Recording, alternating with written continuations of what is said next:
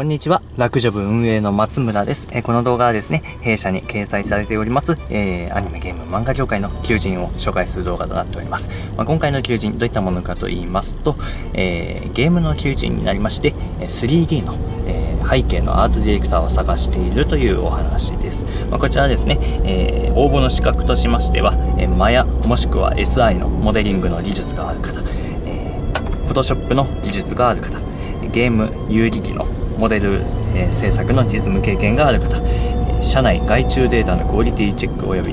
えーディレクションの経験がある方クライアント外注との窓口の経験がある方、まあ、こういったものがですね、えー上限となっております。なかなか厳しいかとは思うんですけども、まあ、その分ですね、えー働きにも非常にやりがいがありましてまたですね、えーお給料の方も、えなかなか、え優遇させて